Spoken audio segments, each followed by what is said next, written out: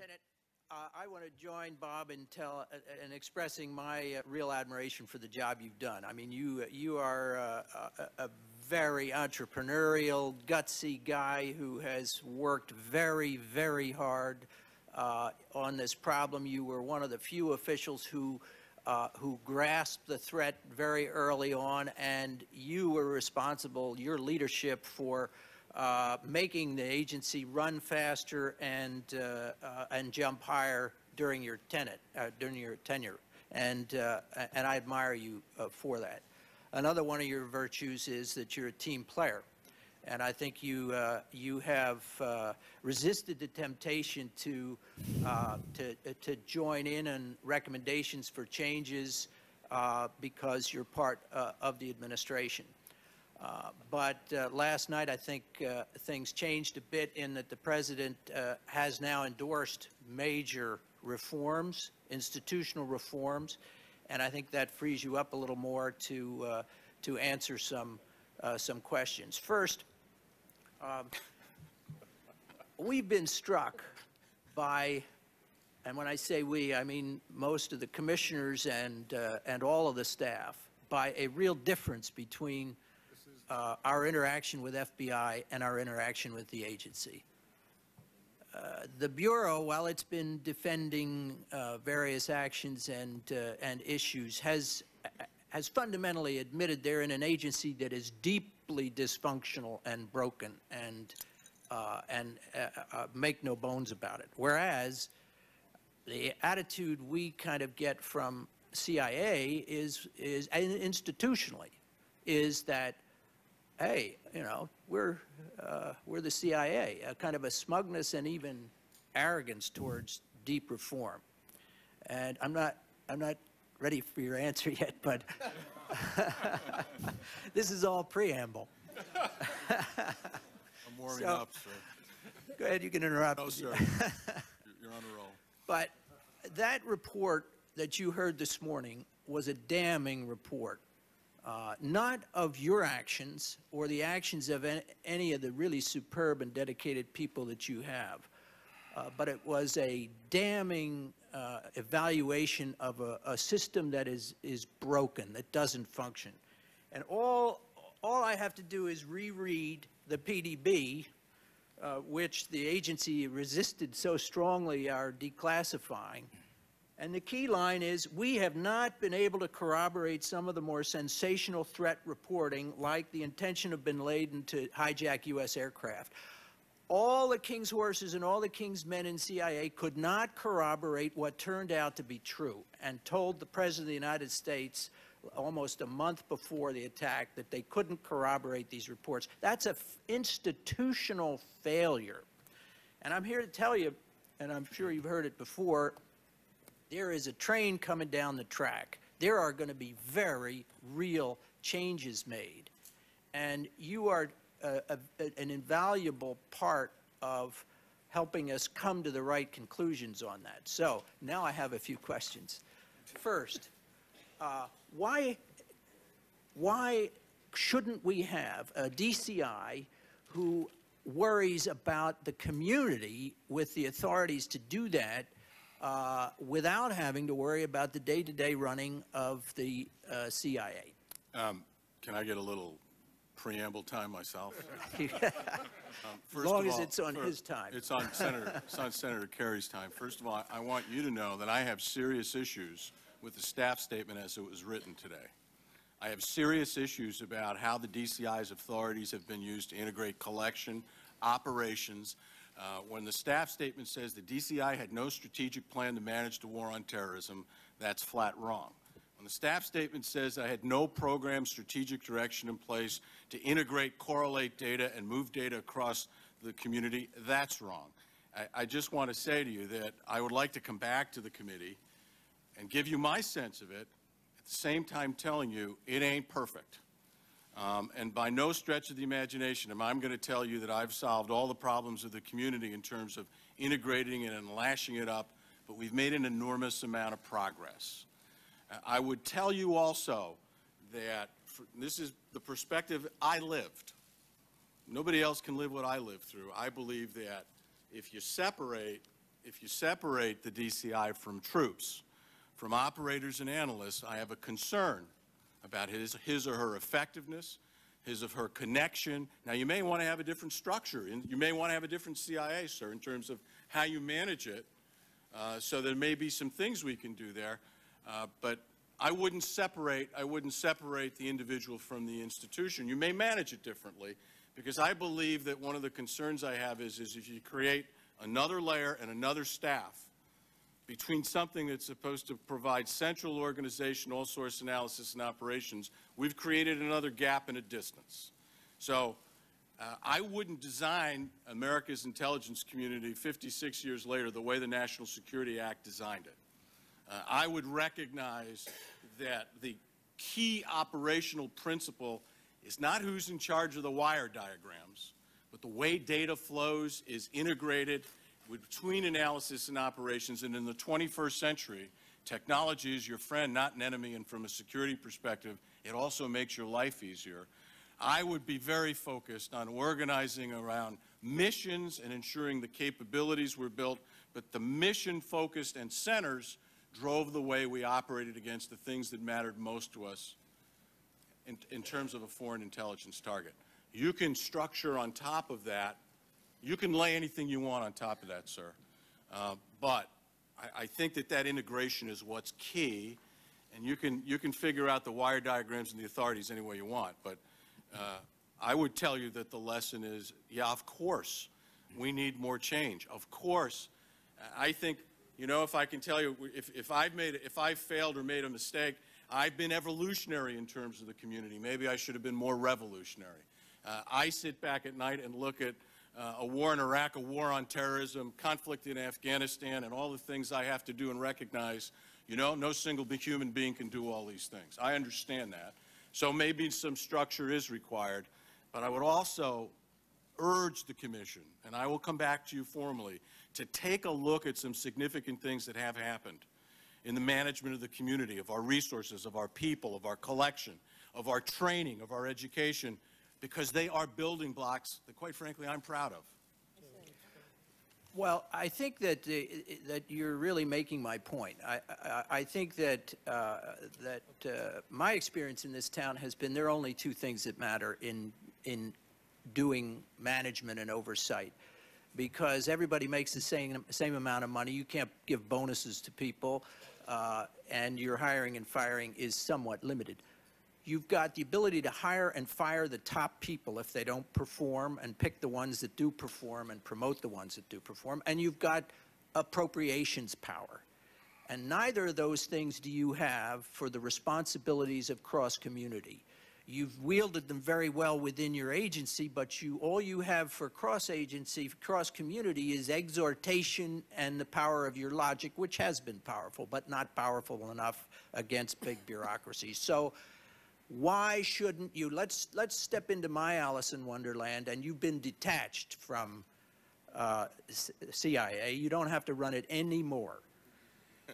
You are now, you are now a, a DCI who is principally seized of solving the problems that we have identified and you've struggled with for, for these years. Why shouldn't you have the power to hire and fire, more importantly? The head of NSA, the head of the FBI intelligence section, uh, or a separate MI5, the head of the uh, CIA, the head of all of the alphabet soup that are really national intelligence assets. Why shouldn't you have that? Um, well, let me talk to you about my Alice in Wonderland, just to talk through this a little bit. Um, you, you could do that, sir. But I, I, I want to bring back an issue that I think is quite important here. Um, we need to get, we need to understand the relationship between the DCI and the Secretary of Defense in a very, very fundamental way. Why? Um, you have an organizational structure today that basically has three of the, three or four of the major organizations are combat support organizations. They provide tactical support to the military as well as support the national, the national intelligence needs. And somehow in the structure that you create, he must be a partner in designing this framework to ensure that we don't miss or don't crack a seam that we're trying to build together because he executes tactical and other programs that in, in effect add to the power of what the DCI can do, but we have to wrestle with that in some way. So everybody wants to empower this individual with all kinds of powers, and all I'm asking is, yeah, should, could a DCI be more powerful, have more executive authority, execute budgets, joint personnel policies? You know, the question ultimately is, is there a Goldwater-Nichols framework here that works? Uh, Is there some new framework that we have to put in place? All I want to focus on is, don't throw the baby out with the bathwater. Don't miss the capabilities that have to be grown. Don't separate those capabilities from a chain of command that can only execute them, and then figure out how that mesh works. Now, the person you described probably would survive for about 20 minutes um, in terms of what's going on in this town, and you probably went a little bit too far. Um, But look, we have to be open to thinking like this. Uh, You know, I'm, uh, I've done it one way. It ain't the perfect way, and within the structure that I lived with. And the power of persuasion and cajoling is absolutely important, because you know, at the end of the day, you still have to lead. You're going to have all the authority you want, it may not matter. So it's a little bit more complicated, but all of it should be, on all I'm saying, you commissioners, should all be on the table. But before we rush to a judgment, don't we want to know what the world's going to look like? Don't we want to understand with some precision where you want to end up? And I think you have to focus on that fusion of capabilities around mission first and foremost, and then decide the rest. It will flow from there. The power of forcing that collaboration in and of itself breaks down the walls. Well, I, uh, I agree that the people and the personalities are, are the most important of all. But for instance, no matter how forceful you are, you have been unable, and no one without the uh, real authority over appropriations could uh, sort out the chaos of our security system, our background investigations, our uh, classification system. Uh, no one can do that without power. Uh, the networking. Uh, Goldwater Nichols is not one of my favorite pieces of legislation. But one of the things that it, it really achieved, which is a tremendous uh, uh, improvement, is, is forcing the, uh, and giving the CINCs the, the ability to force the ability to the services to work together. For instance, special operations forces operated off aircraft carriers. They could never do that before because there was an authority that could force the commonality, the, the protocols, if you will. Like everybody in the commercial world uses the, the internet protocols. Uh, there are no protocols for the intelligence community for sharing. This is an IT problem. It's a, it's a deep embedded functional problem throughout the community for common protocols for uh, information.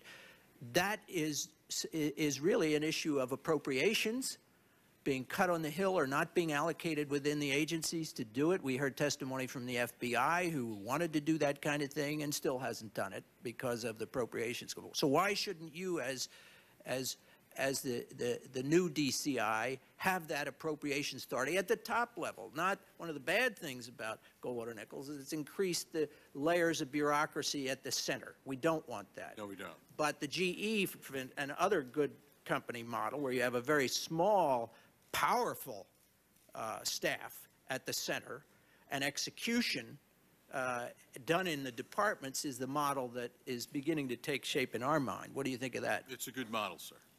I mean, the power, the power, the smaller the staffs, the more power you have over execution, the better off you're going to be at the end of the day, with real metrics and power to move people and data as you need to to achieve better execution is a smart way to think about this discipline for the future. Now, I said this train is coming down the track, and you used the word revolution rather than evolution, and I think that's the perfect way for people to understand this. You've done a terrific job in the evolutionary change, but it's clearly not been enough.